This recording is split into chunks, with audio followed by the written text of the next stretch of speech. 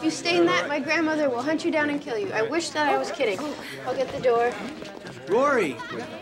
Marty, hi! It's nice to see you. so, are you living here? I'm living here. That's great, so am I.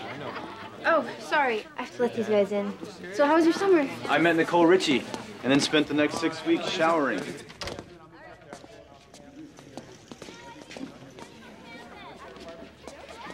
It should be open. Door's locked. Oh, really? Sorry. I thought that uh, Paris would be here already, but... Swing out.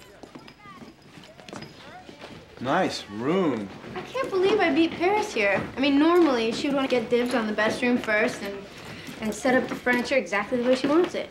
Maybe she's just late. Paris is never late.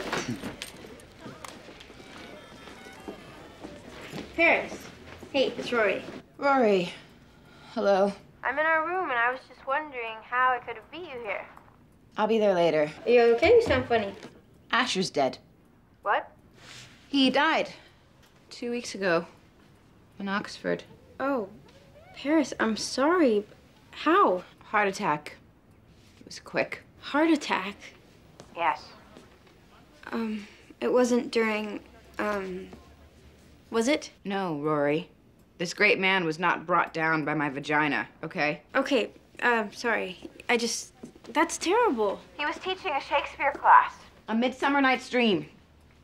He was doing Puck, and then suddenly he wasn't. Oh, man. And the class was so into his reading, they didn't even get it. They thought he was acting. It was Dick Shawn all over again. Where are you? I'm in his flat, trying to get his effects squared away.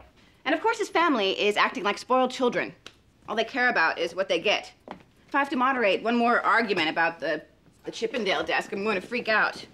And the lawyer handling his affairs is a moron, and don't even get me started on the funeral. He wanted to be cremated, but if you'd seen how filthy that crematorium was, so I shipped him to Cambridge, which apparently is known for its cremation facilities, and that was a transportation nightmare. And of course, his daughter was upset with the move, but where was she at Thanksgiving, huh? Is there anything I can do to help? No. Thanks. I'm sad. I know. Bye. Bye. Asher Fleming died. In bed? No. Damn, I lost the pool.